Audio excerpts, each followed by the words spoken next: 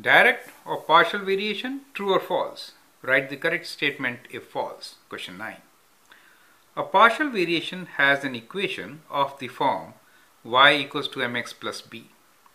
The graph of partial variation does not cross the y-axis at y equals to 0, but at some other point, some other value. That is, y-intercept b is not 0. Is it true or false? This statement is absolutely true. And actually this is the definition of partial variation, right? If somebody tells you describe partial variation, this is what you should be writing. So if I try to graph this line y equals to mx plus b, it could be like this. Here, that is my y-intercept and the line does not go through origin, the zero then it is a partial variation. So that is partial variation.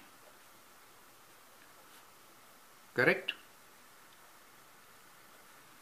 This is your independent variable x and that is your dependent variable y and y repre m represents slope of the line. So here y equals to mx plus b where b is y-intercept. and b is not equal to 0. That is what partial variation is, correct? m could be any real number, right? But m, in this case, there is a restriction on m also, that m is not equal to 0 for partial variation. Okay.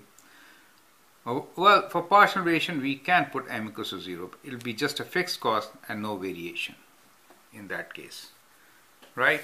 So, so in general, we prefer not to put m as 0 also. Thank you.